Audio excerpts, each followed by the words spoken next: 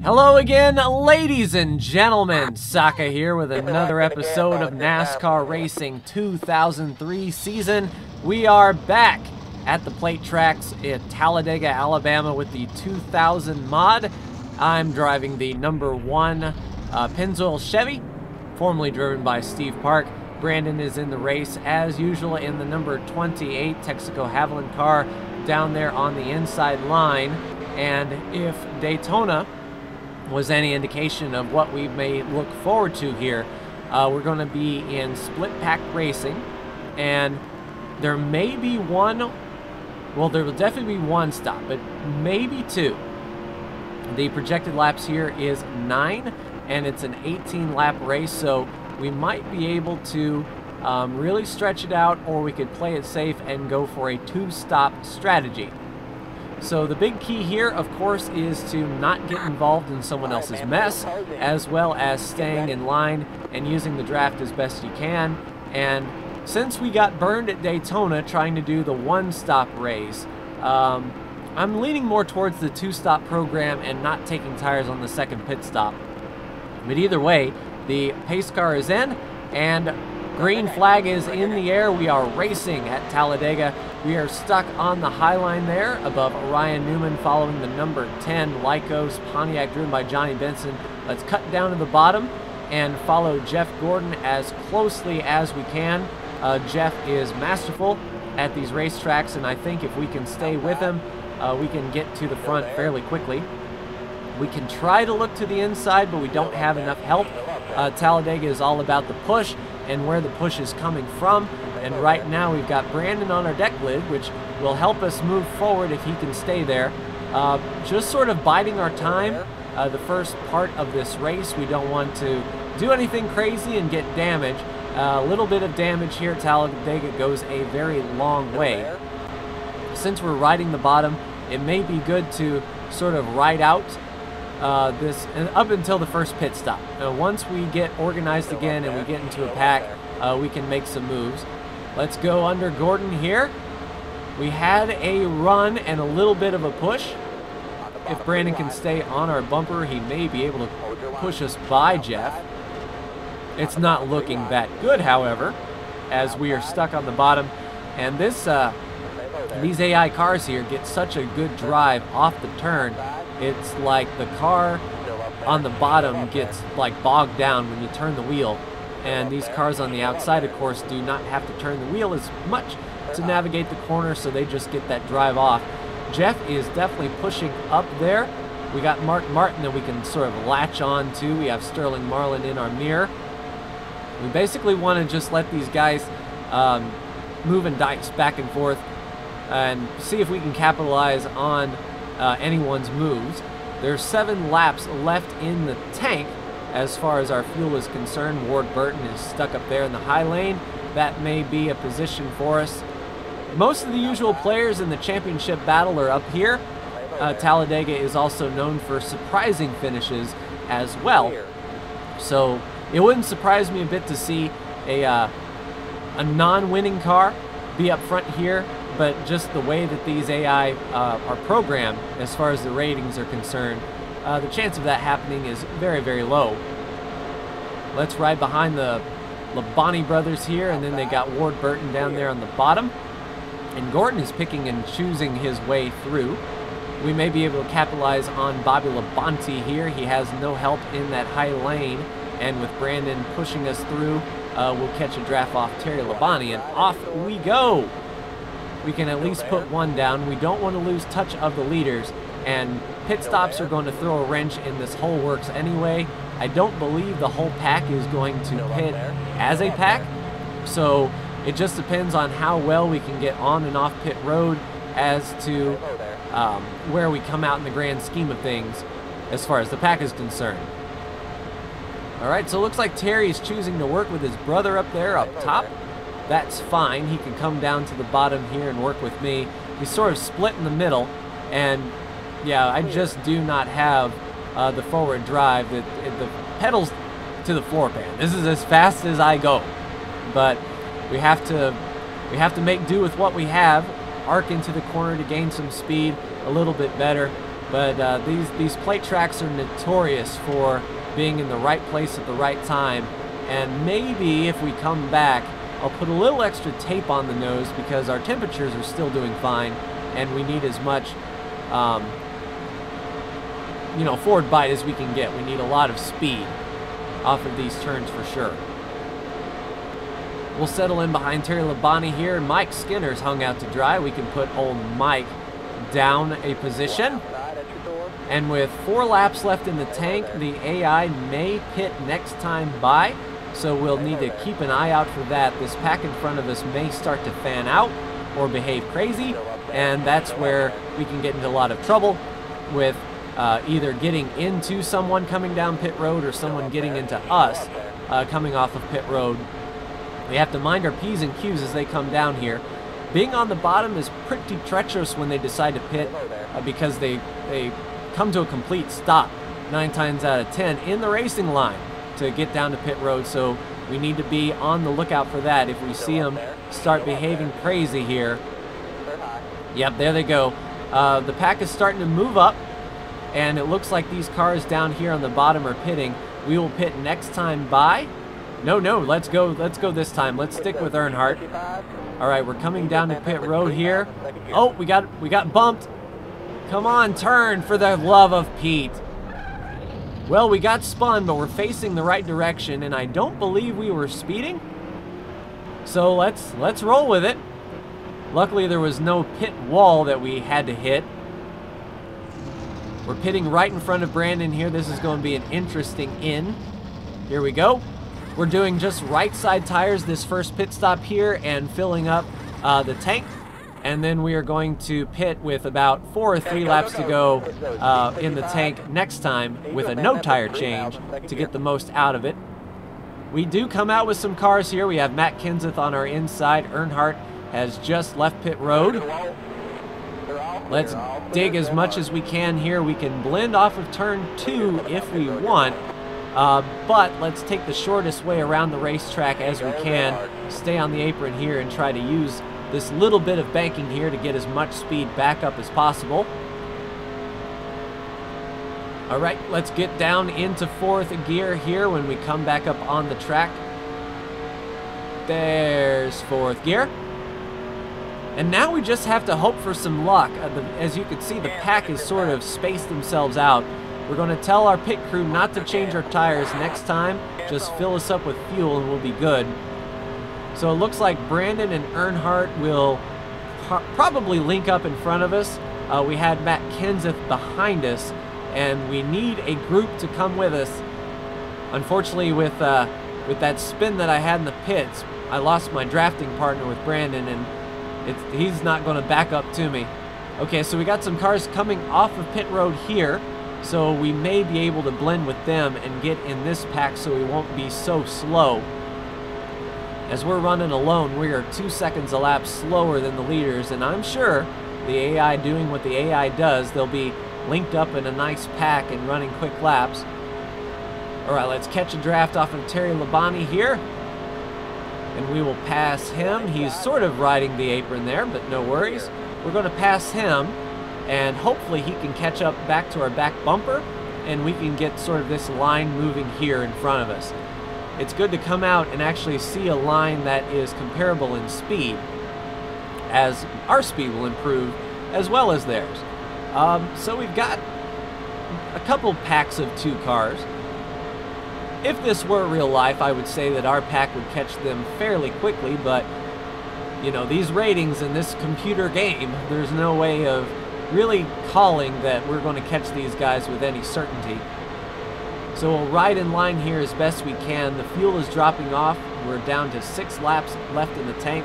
Probably three or four laps until we pit. We just need to hang on to this group in front of us. Sterling Marlin, Mike Skinner there, and Jerry Nadeau. Let's just do the best we can to sort of stay in line here and not uh, put ourselves into a bad position. We'll follow Mike Skinner here and uh, Sterling and Jerry Nadeau there for the pass. All right, looks like they're moving down to the bottom. Oh, wow, Ryan Newman sticking his nose in there. That was a bold move for sure. We still have some cars behind us, so I'm not too awful worried. Uh, where we really need to start worrying is if we are the last car in the group. Uh, there won't be any push from behind, and there's a good chance we would lose that draft. But at least we are in a pack, and it looks like Terry Labonte is committed to running with us as he moves down to the bottom. It looks like Terry is the last car in this pack, so he won't have the steam uh, that we have, so we can sort of keep him at bay. Well, I say that, and Terry Labonte goes to the inside. We've got some help on the high lane. Oh, sorry, Terry. Didn't mean to get into your door there. Just a small scrape in the wall. Hopefully that didn't stop us. Let's move down in front of Kenseth here. Kenseth can push us back up front. We just need to hang on until pit stops here. Um, maybe a quick yellow can come out and we'll be all grouped up nice and neat. We'll all be able to come down pit road together and have a shootout for the finish. But as strung out as these cars are, I don't believe that is going to be the case, or if there would be a wreck, it would be in this pack that we're in. We've got a massive run now on the 10. Let's follow Terry Labonte to the low line, see if he can pull us up to Johnny Benson and around. We do indeed get under Johnny and under the 0-2 of Ryan Newman. The bottom lane is forming up. So I'm feeling pretty, pretty snug as a bug in a rug here just sort of in the rocking chair in between these cars and biding our time until the next round of pit stops. Looks like we pulled Bill Elliott into this group, and is that Mark Martin up there leading this charge? So our group is getting bigger, and as it grows, it should get faster if we stay in line. Johnny Benson doesn't want to be a team player, but we've cleared him thanks to Matt Kenseth. And single file down the backstretch. Let's see if they get Froggy in front of us. Everyone's kind of mining their P's and Q's. We have a couple cars up there uh, jockeying. Now they're starting to do the snake, moving from side to side, trying to break that draft. Let's stick to the bottom. There's a, that car way up top there. Looks like Sterling Marlin here. We'll we'll catch up to Sterling. No worries. And we need to start thinking about pit stops. Uh, we are within the range that this will be the last stop of the race. This will be the money stop and I have no tires set, so this will be a gas and go only, just one can of fuel, and we will be on our way. I'm pretty sure the AI will do something similar, so we may not gain much, we, but hopefully we won't lose any. I don't see how we could lose uh, just taking a can of gas, because everyone needs that can of gas, so we will make the most of it for sure. We'll follow Jerry Nadeau down. Uh, two laps left in the tank. And I'm imagining the, the, the, crew chief will start telling us how low we are on gas. Up, oh, they're pitting. We'll go around one more time. We'll follow Sterling. Sterling didn't pit, so if we can uh, get out with Sterling Marlin as a drafting partner, that will help us out tremendously. We didn't really lose any speed there, so if we can get on pit road much cleaner than they could, uh, we'll be good to, for sure. Looks like another two-packer right there. All right, we do indeed have no tires selected. Tire temperatures look good. This one can of fuel should be enough to take us the rest of the way. And if a caution were to come out anyway, um, this is probably where we would finish. So we would need to get everything we can here. There's the call from the crew chief. The fuel gauge is going to start to drop, but no worries because we're coming off turn four here. Let's hit pit road quickly. Get it slowed down in time, chattering the tires just a bit. But we'll be down to that 3,000 second limit and right beside Sterling Marlin. Let's take a look for the Texaco Havoline box of Brandon because his uh, pit is right in front of ours. All right, looking to the left, here we go. There's Brandon there getting his service. We'll just be getting our can of fuel here. The laps are going up. Fuel is going in the car. Seven, eight, and go, go, go, go. Drop the clutch. Let's go. All right, we'll be out with Terry Labonte here. We'll pass him so Terry can push us. Let's funnel in by Mark, and off we go. I think I may have sped in that last section, but I'm going to go with it. So we did come out with Brandon just just a touch. If we were a second or two quicker on that fuel, we would be right there with him.